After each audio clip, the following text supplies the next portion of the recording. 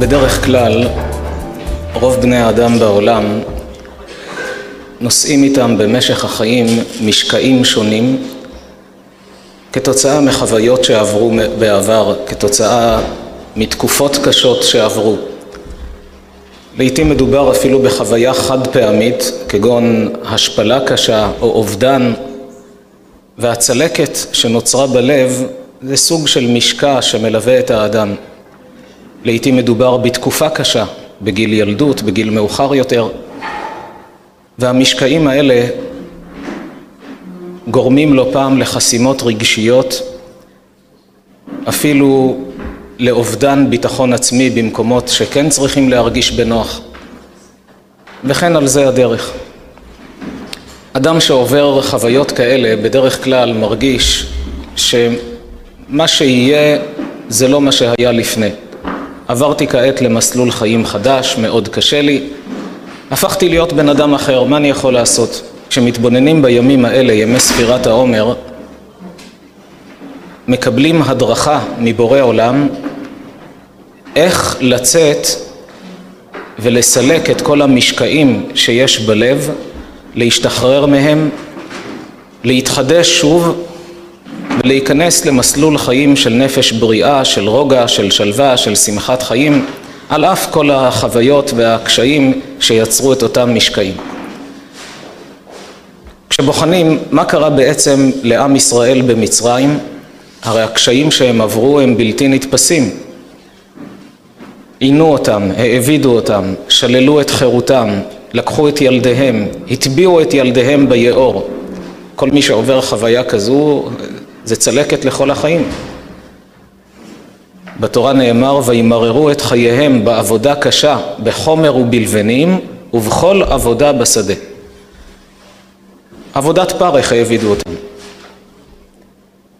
הקדוש ברוך הוא שולח את משה רבנו שיודיע לעם ישראל אני רוצה להוציא אתכם ממצרים ולקחתי אתכם לי לעם האם אתם מוכנים להיות העם שייצג אותי בעולם. אתם מזרע אברהם יצחק ויעקב אנשים שמסרו נפש עבורי. ואני מחפש עם שייצג אותי בעולם. האם אתם מוכנים? אבל יש לי תנאים. אתם לא תוכלו להתנהג כפי שהתנהגתם עד עכשיו לאכול מה שרוצים להתחתן עם מי שרוצים. אלא ברגע שאתם תהיו לי ממלכת כהנים וגוי קדוש, יש לי גם דרישות. אתם מוכנים? עם ישראל השיבו שכן, נעשה ונשמע. הוציא אותם ממצרים, רוצה לתת להם את התורה, אבל כשמתבוננים רואים שקבלת התורה לא הייתה למחרת יציאת מצרים, אלא במשך חמישים יום. וספרתם לכם ממחרת השבת. שבת זה היום הראשון של פסח, החג הראשון של פסח, ששובתים בו ממלאכה, לא שבת רגילה. וספרתם לכם ממחרת השבת, מיום אביאכם את עומר התנופה, שבע שבתות תמימות תהיינה. שבע שבועות. עם ישראל במשך שבע השבועות האלה, כל יום סופרים, היום אחד לעומר, שניים לעומר. ביום החמישים קיבלו את התורה. למה לא מיד? יצאו ממצרים, מיד אפשר לערוך את הטקס הגדול, וכמו חתונה. הרי כשיצאו ממצרים היה בבחינת האירוסין, והרסתיך לי לעולם נאמר בתנ"ך, מעמד הר סיני בבחינת החופה. למה צריך להמתין חמישים יום? כי הקדוש ברוך הוא לא רצה לתת תורה לעם שהוא שבור בנפשו, לעם שהוא נמצא עדיין עם כל המשקעים של מצרים, עם שלמד מהמצרים איך להתנהג. בהגדה של פסח אנחנו אומרים ויראו אותנו המצרים ויענונו. בעברית היה צריך להיות כתוב שם ויראו לנו המצרים ויענונו. שם כתוב ויראו אותנו המצרים. אחד הביאורים שם הפכו אותנו לרעים.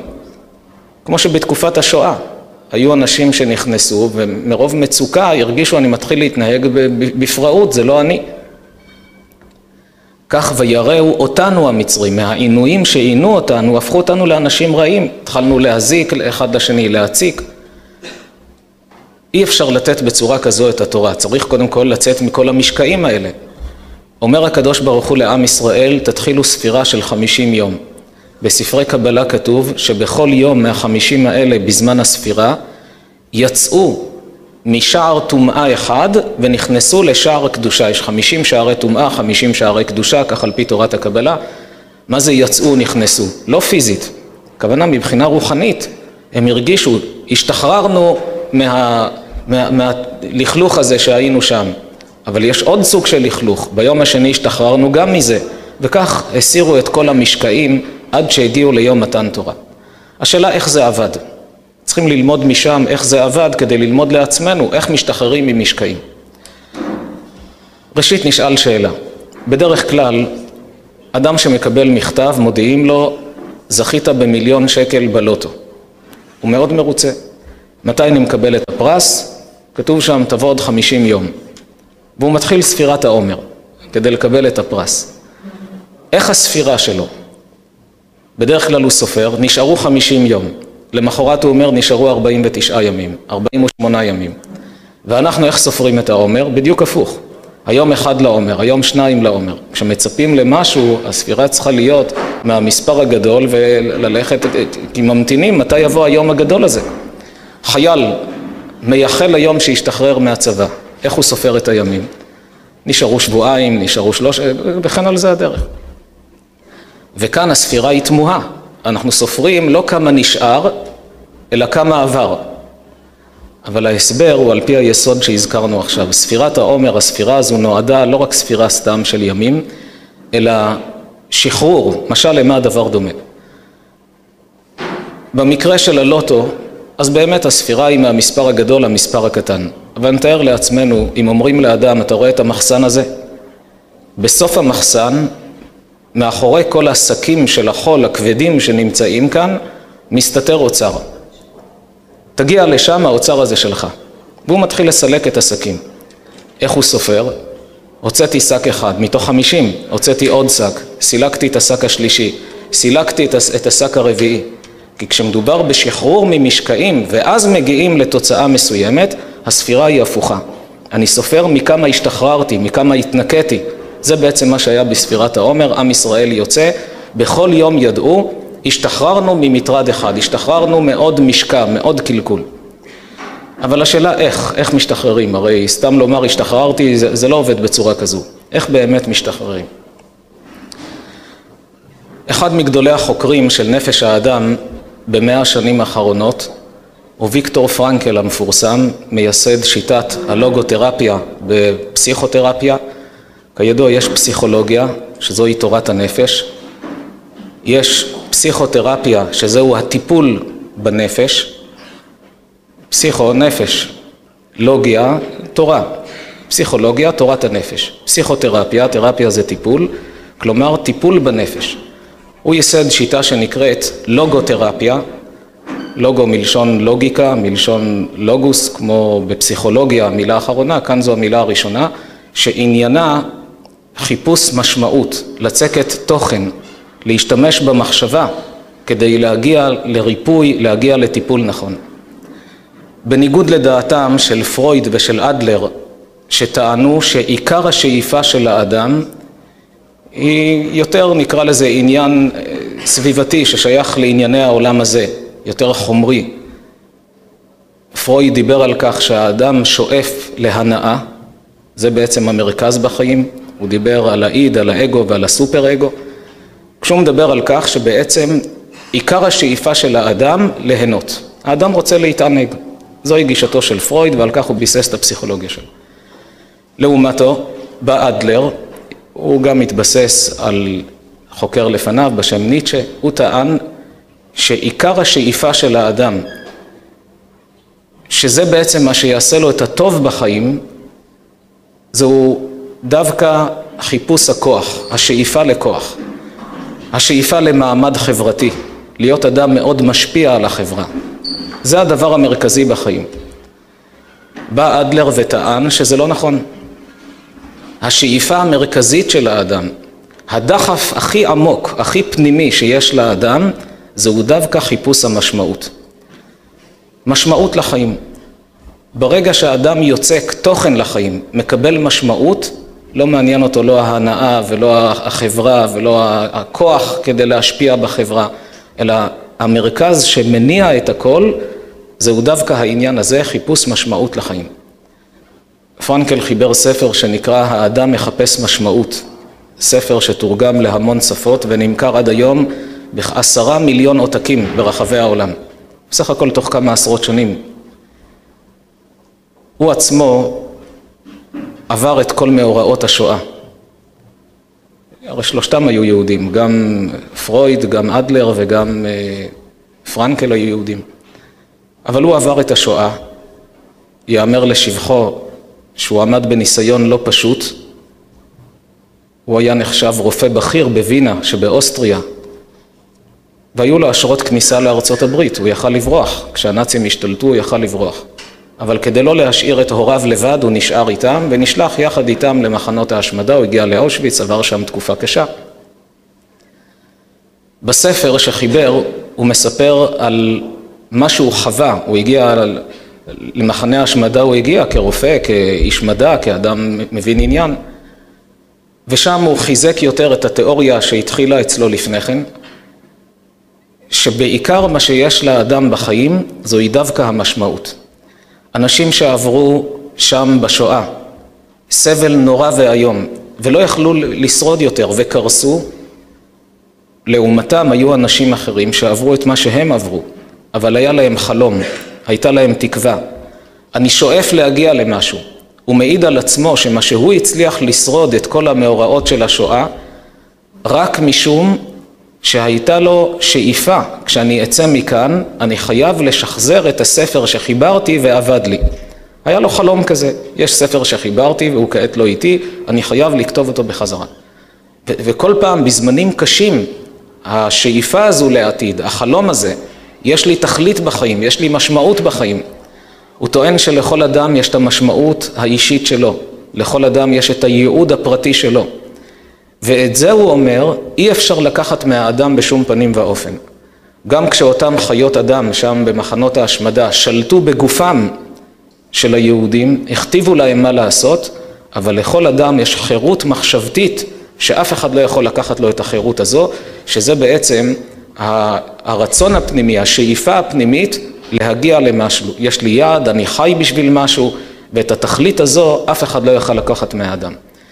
כשמתבוננים בעתיד ויש חלום לקראת העתיד, יכולים לעבור את כל התקופות הקשות, כי יודעים שיש משמעות ויש תכלית לחיים, אני חי למען משהו. זו הסיבה, הוא אומר, שרואים היום המון אנשים בעולם שלכאורה יש להם הכל. אתה רואה אדם שמבחינה חומרית הוא בעל אמצעים, חי טוב, לא חסר לו שום דבר, אבל אם אין לו משמעות לחיים, אם אין לו בשביל מה לחיות, האדם הזה מגיע לשעמום, מה שהוא, פרנקל קורא לזה ריק קיומי. לשעמום הזה הוא קורא סוג של ריק קיומי, שזה מוביל לכל הצרות הכי גדולות בחיים. לדיכאון, להתמכרויות, לתוקפנות. המשולש הזה של הדיכאון, התמכרויות ותוקפנות פרנקל טוען שזה בא מתוך השעמום שרווח דווקא בעידן המודרני, כשיש לאנשים מבחינה חומרית את כל האמצעים, אבל אין להם בשביל מה לחיות. אז הם מגיעים למצב של אותו ריק קיומי כפי שהוא מגדיר, ומכאן מתחילה הידרדרות לכל הצרות. לעומת זאת, כאשר יש משמעות לחיים, כל אדם צריך לצקת תוכן, אני חי בשביל משהו. גם כשקשה לו, הוא מצליח להתמודד, מצליח להתגבר, כי הוא חי למען משהו, יש לו את אותה תכלית. זה בעצם היסוד שהיה ביציאת מצרים. עם ישראל נמצא במצרים, עברו שעבוד קשה ביותר. הם יוצאים ממשקעים נוראיים, עברו סבל בגוף, בנפש, אבל הם צריכים להיות ממלכת כהנים וגוי קדוש, להיות הנציגים של הקדוש ברוך הוא בעולם. התפקיד של עם ישראל לשמש כאור לגויים. מה פירוש אור לגויים? כמו מלך שלא דורש מכל אזרחי המדינה להתנהג בהנהגות של מלכות, אבל הוא מכשיר את ילדיו, את בני משפחתו, הוא אומר להם, אתם תשמשו דוגמה אישית לכל האזרחים כשרוצים לראות מה זה שלמות של בן אדם, שיסתכלו עליכם ויאמרו, זה בן אדם, זוהי שלמות אנושית שהאדם יכול להגיע אליה. כך אומר הקדוש ברוך הוא, אתם צריכים לייצג את שלמות האדם שכל אזרחי המדינה שלי, הרי אומות העולם הם אזרחי מדינת האלוקים. הוא מלך העולם, וכתוב במשנה, חביב אדם שנברא בצלם. אבל עם ישראל צריכים לשמש כדוגמה של הנהגה, של מלכות, של רמה אחרת לחלוטין. איך אפשר לקחת עם של עבדים ולהרים אותם משפל המדרגה לשיא השיאים? הוא אומר להם, תתחילו את ספירת העומר. אבל איך נשתחרר? אתם יודעים להיכן אתם סופרים? ביום החמישים אתם מקבלים ממני, מבורא העולם, את הספר שאפשר להגדיר אותו כספר הוראות יצרן, ספר ההדרכה, עם כל סודות הבריאה מהצד הרוחני שלהם. אדם שמסתכל על המצוות מזווית נכונה, מה הם בעצם המצוות שבתורה? גילוי סודות הטבע שבבריאה מהצד הרוחני.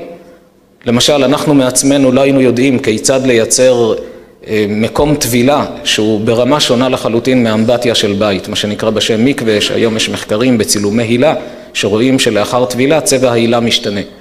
או על אותו משקל לגברים יש את התפילין, כמו נקרא לזה אנטנה כזו, שכשגבר מניח על ראשו ועל זרועו כנגד המחשבות וכנגד הלב, מקום הרגשות, אז הוא מתחבר לאור האלוקי, מזרים לתוך הנשמה, אלה גם דברים שהיום המדענים מתחילים בכלים החדשים שיש להם לגלות שיש בזה משהו. אנחנו לא היינו יכולים לדעת איך מייצרים מכשיר כזה שיש לו השלכות רוחניות. אז אומר הקדוש ברוך הוא לישראל, תדעו, בעוד חמישים יום אתם מקבלים את הספר שלי, של בורא עולם, ובו יש לכם את כל סודות הבריאה מהצד הרוחני, ספר הדרכה איך להיות מאוזנים בהנאות החיים, שלא להקצין יותר מדי אחר החומריות, ומצד שני גם לא לפרוש בקיצוניות עד שהאדם מגיע לשיממון נפש, אלא להיות מאוזנים. עם ישראל מרגיש, יש עכשיו בשביל מה לחיות. אנחנו נגיע ליום הגדול הזה, נקבל את הספר, הם מתחילים ספירת העומר. אבל אומר להם הקדוש ברוך הוא, אל תספרו את הימים כמה נשאר לכם. כי אתם חייבים לסלק את השקים, את המטענים, את אותם משקעים שיש לכם שם ממצרים, לכן היום אחד לעומר השתחררנו, יצאנו משער אחד של חיסרון, נכנסנו לשער של מעלה, וכן על זה הדרך עד שהגיעו ליום החמישים. מבחינה מעשית, איך הדברים באים לידי ביטוי? ואנחנו עכשיו לא יצאנו ממצרים ולא אמורים לקבל את, ה, את מעמד הר סיני בפועל. יש את המעין שהמקובלים אומרים שכל שנה כשמגיע אותו תאריך יורד שפע לעולם מעין אותה שנה. אבל מבחינה מעשית, אדם שאומר, תשמע, אני, אני פגוע, אני מרגיש שיש לי איזושהי צלקת בלב, חוויתי אובדן, חוויתי עלבון, ואני נושא את זה איתי, קשה לי להשתחרר מזה, איך אני יוצא? יש שני מסלולים כיצד לצקת משמעות ועל ידי כך לצאת מתוך אותם, נקרא לזה משקעים או אפילו תסביכים שיש לאדם בתוככי נפשו. האחד, השאיפה לעתיד. השני, מה הטוב שהיה במה שנראה לי כקשה. נסביר את הדברים. אספר מעשה שהיה, שראיתי בעיניי. כשהייתי ילד, בכל ליל שבת, כשהיינו מסיימים את התפילה בבית הכנסת ויוצאים, הייתה אישה מאוד מבוגרת, ישישה, ממש ישישה, שהייתה עומדת עם שני הגרטלים של צמחי בושם, על האחד מברכים בורא עצה בסמים, על השני בורא יסבה בסמים. כל מתפלל שיצא, היא הגישה לו, ביקשה שיברך, והיא הייתה עונה אמן. כך במשך כמה וכמה שנים. לאחר מכן עברתי ללמוד בישיבת פורת יוסף, כבר לא הייתי כל כך באזור הבית וכן הלאה. עשרים שנה לאחר מכן, אולי יותר מעשרים שנה, הייתי כבר נשוי, אחד מאחיי משמש כדיין וגם רב של בית אבות. אז כשהייתי בירושלים, הייתי מתפלל איתו ביחד בבית האבות שם. והנה אנחנו יוצאים מהתפילה בליל שבת, אני רואה אותה עם שני האגרטלים, והיא עדיין אה, ממשיכה במנהגה שם באותו בית אבות. אני הייתי בטוח שמזמן היא כבר בעולם האמת, ואני רואה אותה חיה וקיימת ורצה ופעילה, גם מאוד זריזה. היא לא הולכת כמו אישה מבוגרת, היא רצה מלאה חיות, שמחת חיים. אמרתי לאחי, כשיצאנו משם, מאוד שמחתי לראות אותה. הוא אומר, תדע לך שכל השבוע היא חיה רק בשביל הרגעים האלה. כל השבוע היא ממתינה, מתי יגיע ליל שבת, ואני אמתין עם שתי הגרטלים שם ליד בית הכנסת, לשמוע את האנשים מברכים עצה בסמים, יסבה בסמים, וזה מה שנותן לה את החיות. הוא אומר, אני בטוח שרק בזכות זה היא כבר למעלה מגיל מאה ועדיין בריאה.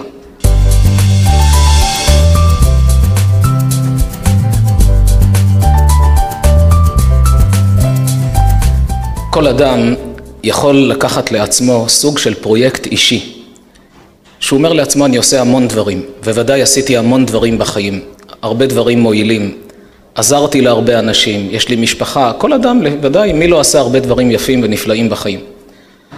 אבל להתמקד בסוג של פרויקט שהאדם מתחבר אליו ולומר, את זה אני רוצה לעשות. סיפר לי תלמיד חכם שבבית הכנסת, שהוא מתפלל, אדם מאוד מבוגר, למעלה מגיל 80, בכל ערב מסתובב בבית הכנסת, אוסף את הספרים שאנשים, סידורים או ספרים שאנשים למדו והתפללו, מחזיר לספרייה. הוא תמיד בודק, יש איזה סידור שהתחיל להיקרא, לוקח אותו אליו הביתה, בסבלנות, מדביק, תופר, מחזיר לבית הכנסת כדי שהסידור יישאר תקין ויוכלו להתפלל. זה פרויקט חיים שלו. אדם מבוגר, אבל יש לו בשביל מה לחיות. יש אנשים אחרים שיוצאים להתנדב בבתי חולים, עוברים בין המיטות. האחיות בבתי חולים, כמה זמן יש להם? היום כל אחות ממונה על כל כך הרבה חולים, אה, עושות עבודת קודש, חסד גדול, אבל לא תמיד יכולות לעמוד. יש אדם, יצא לפנסיה, או אפילו לא, גם בתקופת העבודה, אבל יש לו ימים שהוא יודע, יום בשבוע אני יכול להרשות לעצמי כמה שעות, יוצא לפעילות התנדבותית, עובר בין המיטות בבית החולים, מחייך לאנשים. אפשר לעזור משהו, אתה צריך משהו, את צריכה איזה עניין, לעזור. זה נראה לכאורה שהאדם הזה תורם לאחרים, בפועל הוא תורם לעצמו יותר מלכל אדם אחר. כשיש פרויקט בשביל מה לחיות, אפילו בדברים קטנים, קל וחומר בפרויקטים גדולים, שאדם מציב לעצמו, אני רוצה להקים ארגון חסד שיעזור למשפחות נזקקות. למה לא? אדם יכול לפתוח עמותה, לוקח כמה חברים שהעניין אכפת להם, אוספים או מצרכים או ממון, כל אחד לפי יכולתו, מחלקים למשפחות נזקקות. כשיש לאדם משמעות לחיים, הוא יודע בשביל מה אני חי, יש לי בשביל מה לקום בבוקר. אדם כזה גם משתחרר מהמשקעים של העבר. כי הוא יודע, נכון, אז היו קשיים, היו צרות, אבל העולם צריך אותי היום. אני לא חי רק לעצמי, אני חי למען משהו. יש לו תכלית לחיים. אני מדבר אפילו ברמה הפשוטה, קל וחומר אדם שמבין שהתכלית של החיים, כמו שאומרת המשנה באבות, העולם הזה דומה לפרוזדור בפני העולם הבא. התקן עצמך בפרוזדור כדי שתיכנס לטרקלין. כלומר, גם במישור האישי שלו. הוא יודע כל יום שהוא חי בעולם. יש אנשים שמרוב שעימום כבר לא יודעים, בשביל מה יש לי לעשות יותר בחיים? מאבדים טעם בחיים. כמה פעמים שאלו בהרצאות, מדוע יש ביהדות הקפדה על שמירת בריאות הגוף? הרמב"ם בספר הלכותיו כותב שהאדם צריך לאכול דברים בריאים ולהתעמל בכל יום ולפנות את הגוף שלא יצבור פסולת, נותן הדרכות של בריאות בספר הלכות. וזה נראה מוזר, נכון הרמב"ם היה רופא, אבל אם הוא היה חייט, אז היה מכניס לספר ההלכות איך תופרים בגדים? מה זה שייך להלכות? אבל הרמב"ם עצמו כותב בתחילת ההנהגה הבריאותית שלו, הואיל והיות הגוף שלם, מדרכי השם יתברך הוא. כלומר שהגוף יהיה בריא ושלם וחזק, זה חלק מעבודת השם. כי ככל שמאריכים ימים יותר בעולם הזה מתוך בריאות, אתה מרוויח עוד יום שאתה יכול לקיים עוד מצוות, לעשות עוד חסדים, עוד הנחת תפילין, עוד ברכה על מה שאוכלים, עוד שבת, עוד יום כיפור. זה מה שכותב רבנו בחייה בספר חובות הלבבות. הוא כותב שהצדיקים מצפים למוות, אבל נשמרים ממנו.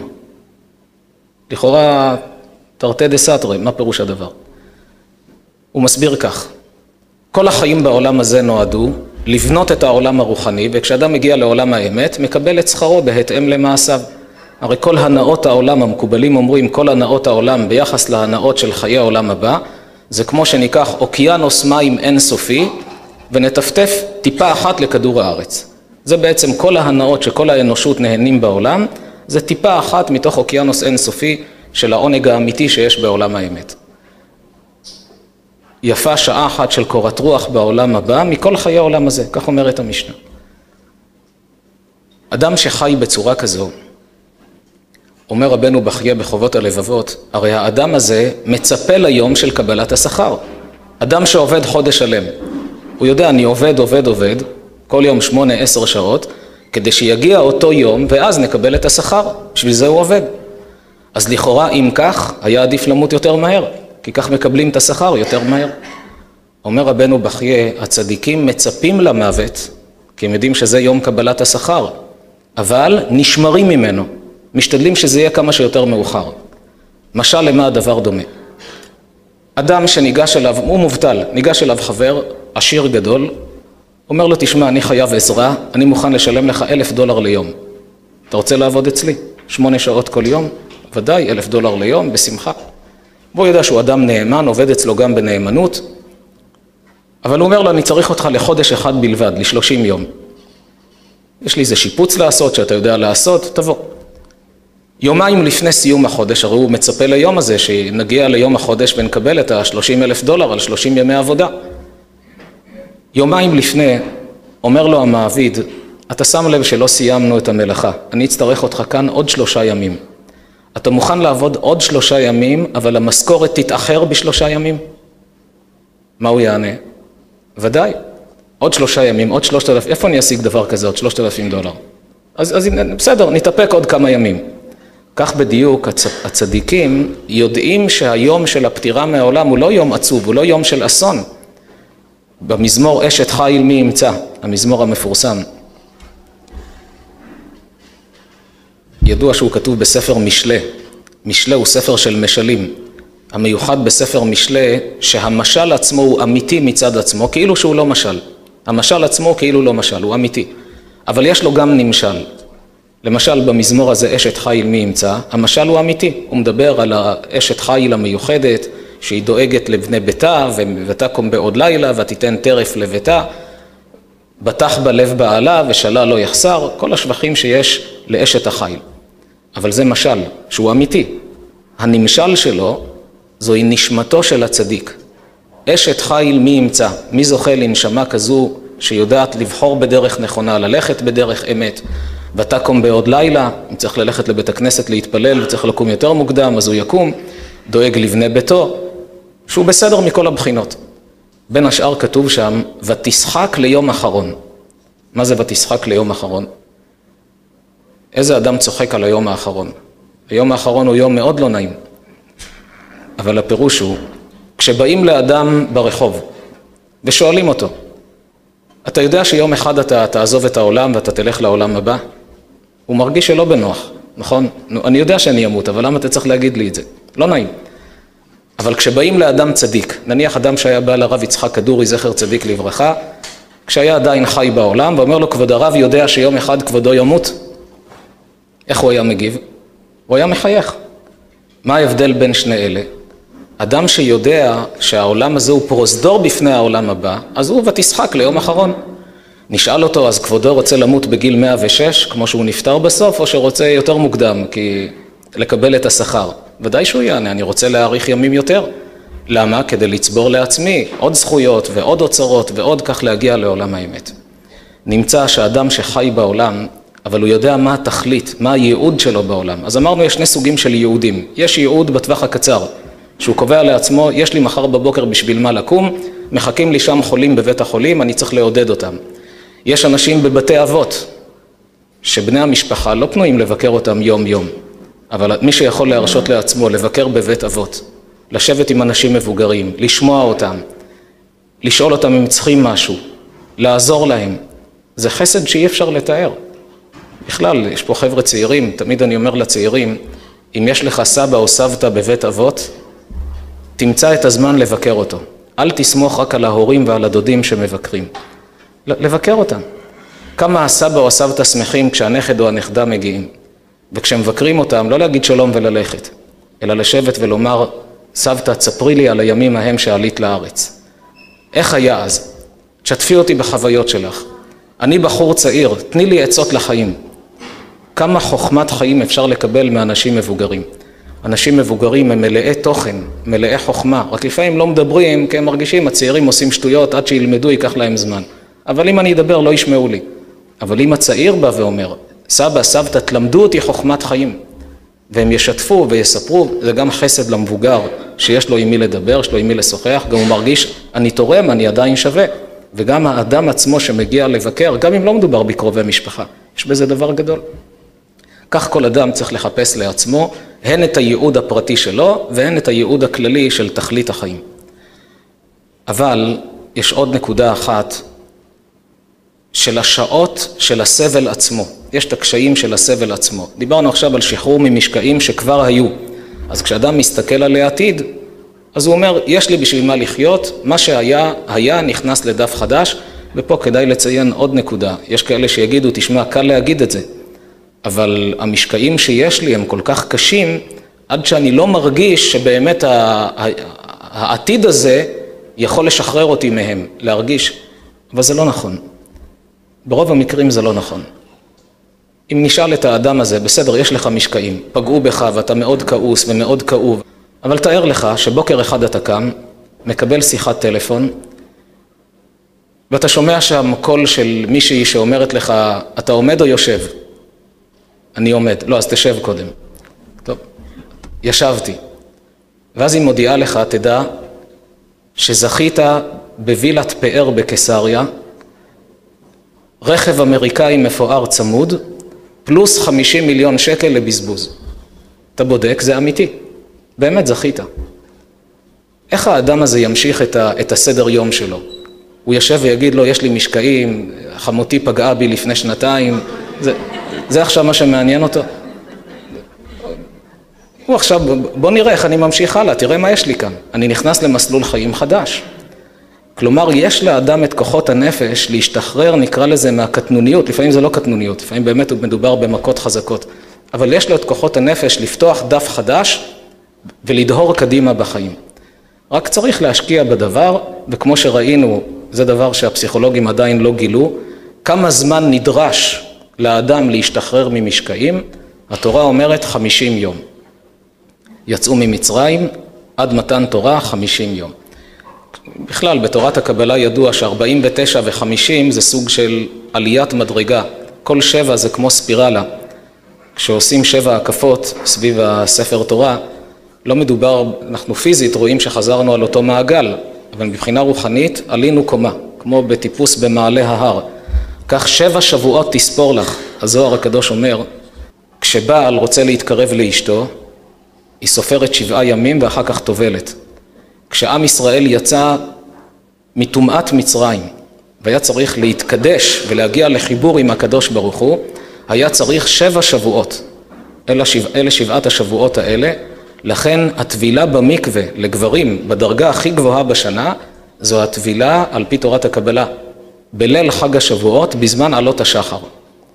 הרי לומדים כל הלילה, נוהגים כך להישאר בתי הכנסת, לומדים תורה כל הלילה, עלות השחר טובלים במקווה, לגברים זה שיא השיאים, לאחר שבע השבועות של שבע המדרגות האלה. הרמב"ן, רבי משה בר נחמן כותב, בסוכות יש לנו חג ראשון, אחר כך יש את ימי חול המועד, ומגיע שמיני עצרת, חג בתחילה, חג בסוף.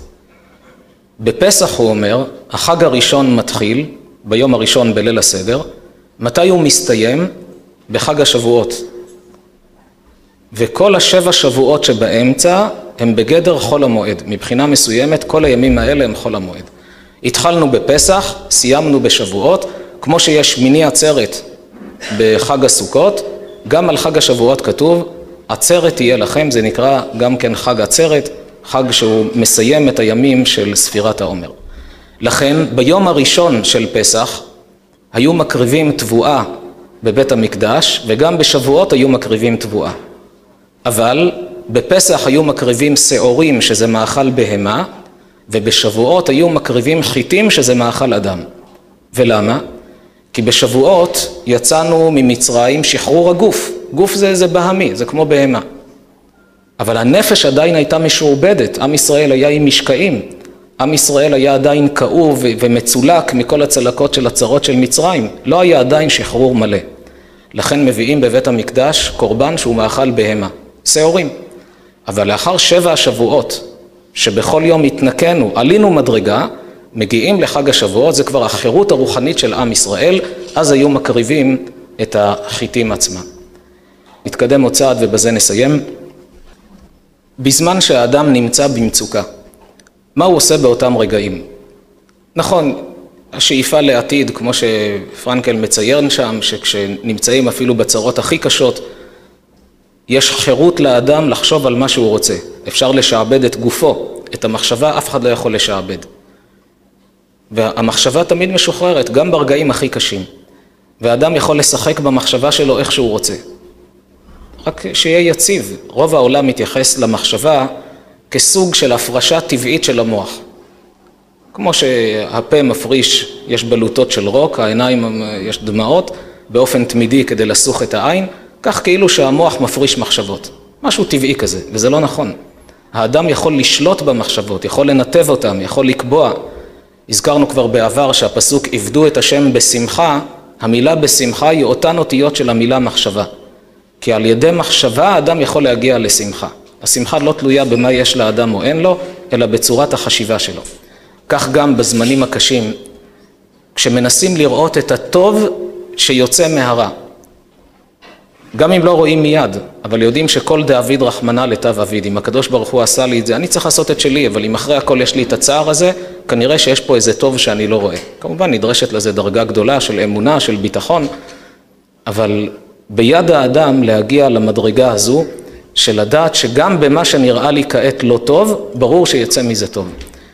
כמה אנשים יכולים להעיד על כך שבנערותם היו מאוד כאובים מהסבל שחוו בגיל ילדות, עם הורים שהציקו להם או מורים שהציקו להם, והרגישו שבורים ורצוצים. אבל כשיצאו לחיים הם רואים שדווקא הקשיים שעברו באותה תקופת ילדות זה מה שחישל אותם, עיצב אותם ובנה אותם לתרום לאחרים בתחום שממנו הם סבלו. כי למי שיש ניסיון חיים הוא יודע הכי טוב איך לעזור לאחרים שכעת עוברים את מה שהוא עבר, כי הוא מבין אותם. חז"ל אומרים שהאדם שבע לא מרגיש ברעבונו של הרעב. אדם עשיר שאף פעם לא חווה רעב, כמה שהוא יאמר כן צריכים לעזור לעניים, יש אנשים, הוא לא מבין על מה הוא מדבר בכלל, כי הוא לא חווה את זה. מספרים, תלמיד חכם אחד הגיע לבית הכנסת בתקופה שלפני השואה. שם באירופה היה קור אימים והיה חדר הכנסת אורחים ששם היו העניים שבאים לעיר לאסוף צדקה, היו לנים שם בלילה ועוברים מעיר לעיר. הרב מעיף מבט, נחרד.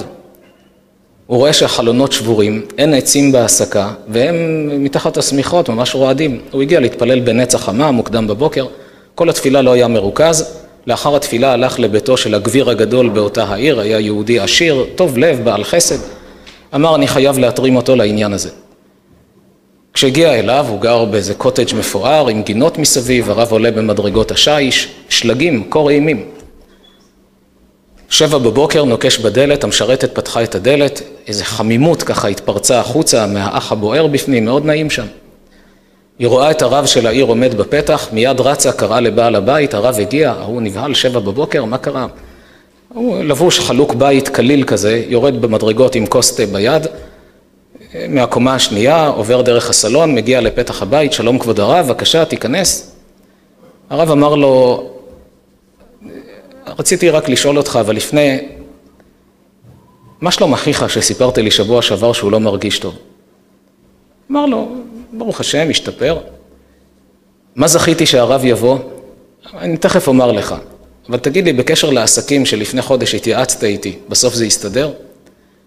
הוא אומר לו, כן, התחיל, אבל כבוד הרב, תיכנס ונדבר. הוא, הוא עם חלוק בית קליל, הרב עם מעיל פרווה, הוא עומד בחוץ, הוא עומד בדלת, הוא לא יכול לסבול את זה. אבל לא נעים לו, הוא אומר, הרב ייכנס, נדבר. הוא אומר לו, כבר, כבר, רק תספר לי מה בקשר, וככה הוא עובר אותו. בסוף אומר לו, כבוד הרב, עוד דקה אני מתעלף, תיכנס. אמר לו, אה, קר לך? בסדר, ניכנס. נכנסו, התיישבו, מה זכיתי שהרב יגיע?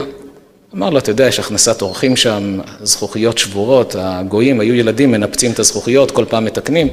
הגבאי אומר שאין לו יותר כסף לתקן ואין עצים להסיק. מה הרב מצפה ממני שאני אתן? אמר לו, עד סוף החורף, אני משער ב-20 אלף דולר את העלויות של התיקונים, עד סוף החורף. אמר לו, אין בעיה, הוציא פנקס צ'קים, חתם, נתן. הרב ברך אותו את כל הברכות שבתורה. כשבא לצאת, בעל הבית עדיין רועד מקור. אומר לו, כבוד הרב, רק שאלה, למה הקפאת אותי בדלת? אני עד עכשיו רועד. אמר לו, אם לא היית מרגיש מה שהם מרגישים, היית נותן לי 200 דולר, ואומר, כבוד הרב, גם אחרים ייתנו. אבל כשהרגשת מה הם מרגישים, זה כבר אחרת לחלוטין. כשאדם מרגיש את, ה, את מה שהשני מרגיש, זה כבר עניין אחר לגמרי. נמצא בסיכומם של דברים, ככל שהאדם מחזק את עצמו בשאיפות לעתיד, יוצק משמעות בחיים, יודע שיש לו בשביל מה לחיות. ככל שהוא רואה גם את הטוב במה שנראה לכאורה רע.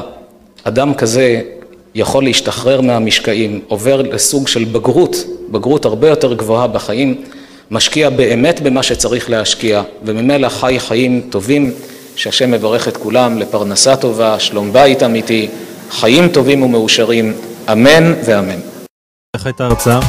חבל על הזמן, סוף הדרך. אוהבים את הרב, אוהבים את הידברות. תותח, נו, הרב זמיר, שכמו ומעלה. יש המון המון מה ללמוד ממנו. מדהים.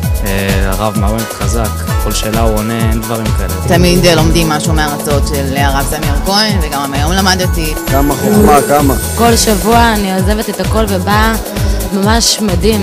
מקרב, נהנים.